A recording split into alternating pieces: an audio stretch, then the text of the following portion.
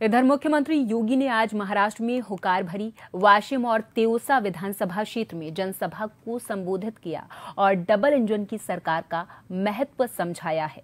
सुनाएँगे। छत्रपति शिवाजी महाराज, जिस एकजुटता का प्रदर्शन करके हिंदवी साम्राज्य की स्थापना किए थे, आज उसी का आह्वान करने के लिए, उन्हीं से प्रेरणा लेकर के मैं बार बार आपसे कहता हूँ, एक है तो सेप है। और बटे थे तो कटे थे। हमें बटना नहीं है, एकजुट होना है।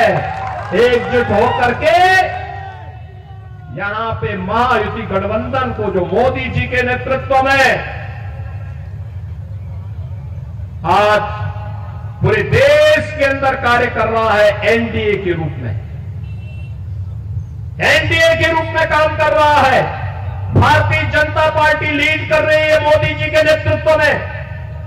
ऐसे ही महाराष्ट्र के अंदर ये महाअनाड़ी गठबंधन को हराना है और भारतीय जनता पार्टी के नेतृत्व में महायुति गठबंधन को, एनडीए के प्रत्याशियों को विजयी बनाना है।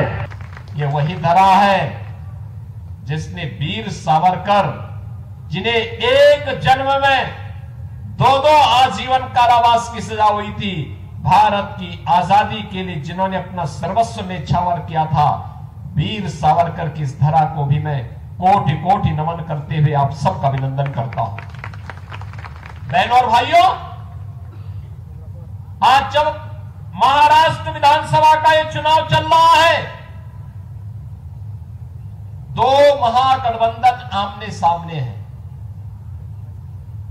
एक और भारतीय जनता पार्टी के नेतृत्व में एनडीए महायुति गठबंधन के रूप में आपके सामने अपने मुद्दों, अपने मूल्यों और अपने आदर्शों के साथ है।